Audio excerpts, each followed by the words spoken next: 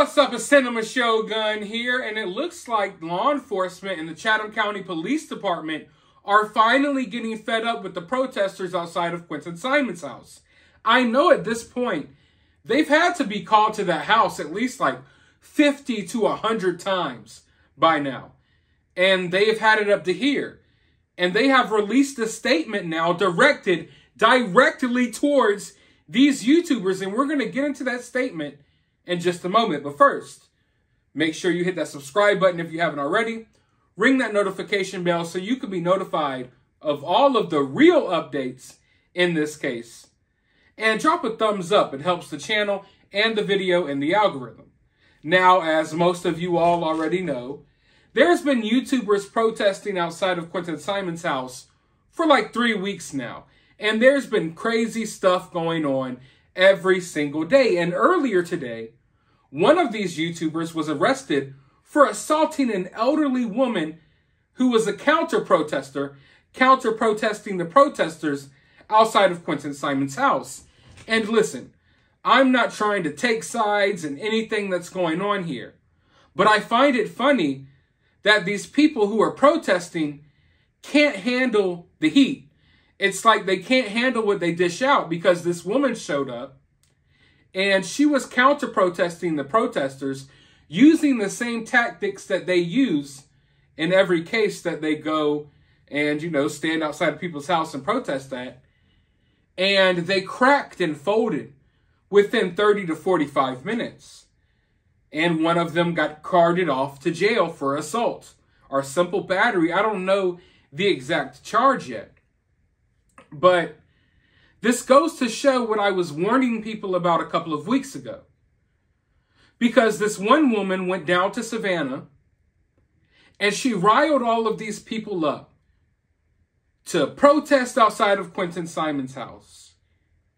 And she led them to believe that she was some type of expert at doing these protests and that she knew the law in and out.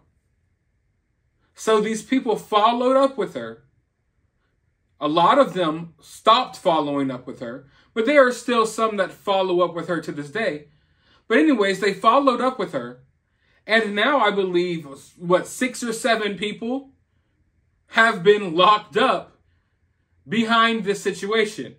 None of them are Leilani, none of them are Billie Jo. Six or seven protesters, if that's what you want to call them, have been locked up and are arrested outside of this home for following up with this one person.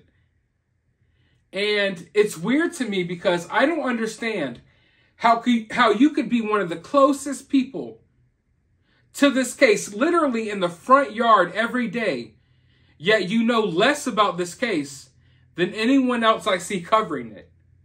These people do not spell Quinton's name the right way. These people do not know anything about this case, barely. If you listen to them talk for a few moments, they mispronounce people's names 24 7. They don't even know where people live. Earlier today, they were protesting outside of the juvenile detention center, trying to get their friend out of jail as if he was a nine year old. They literally went to the wrong jailhouse and protested. These people, Yes, they're out there on the front lines, if that's what you want to call it, but they know very, very little about this case. They're all about the spectacle. They're all about yelling and hooting and hollering about things they know nothing about.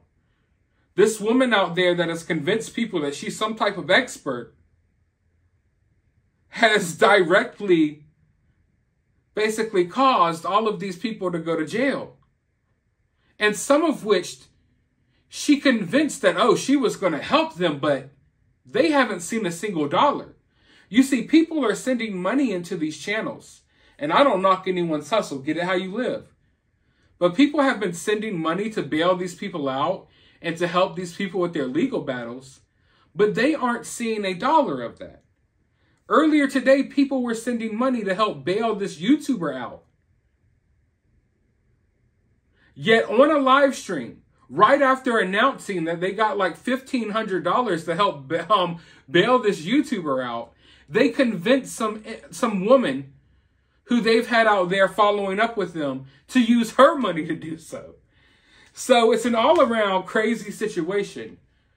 But now Chatham County Police Department, they're coming up with a plan to battle it back. Let's see what they have to say because I'm interested about this statement and I haven't read it yet. I saw that they made a statement, but I waited because I wanted to read it for the first time with all of you all so I could give you my natural reaction. But let's go ahead and hop into it. Statement from Chatham County Police Chief Jeff Hadley. Over the last three weeks, while our officers have been focused on finding Quinton Simon, a growing number of people calling themselves protesters have gathered outside of Quinton's home on, on Buckhalter Road. While the Chatham County Police Department supports everyone's right to protest peacefully, we also support the rights of citizens to live in a peaceful environment. The people on Buckhalter Road calling themselves protesters have made that nearly impossible.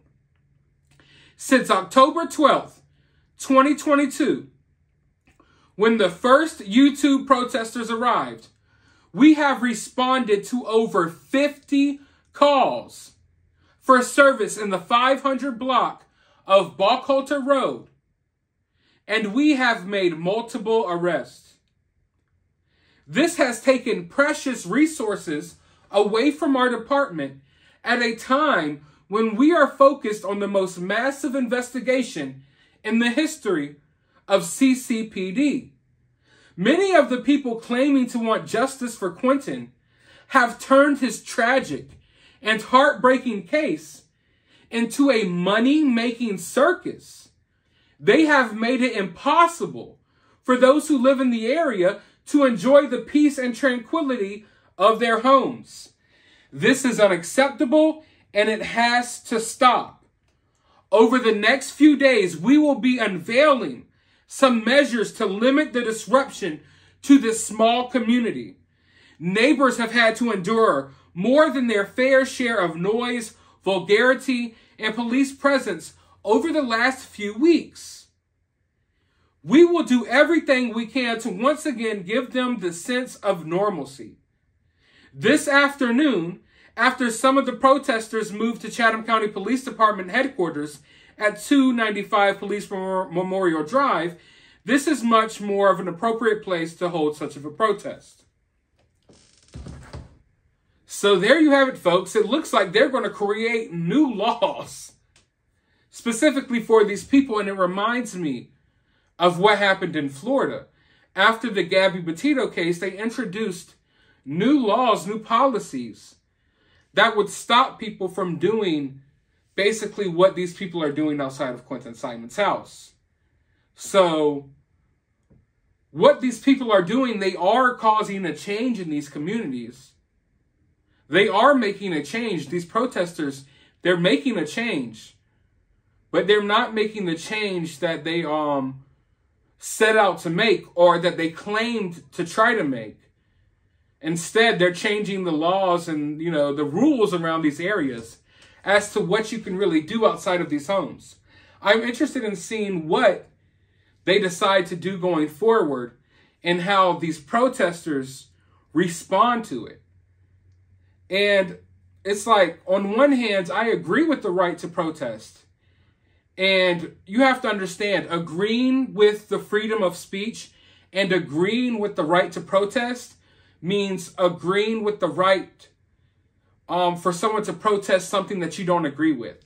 So even if I don't agree with anything these protesters are doing, I agree that in America, as crazy as it may be sometimes, there is a right to do some of what they are doing. And even though I don't agree with some of what they're saying, and I do agree with some of what they're saying, even though I don't disagree or, or I don't agree with all of it, I agree with their right to say that.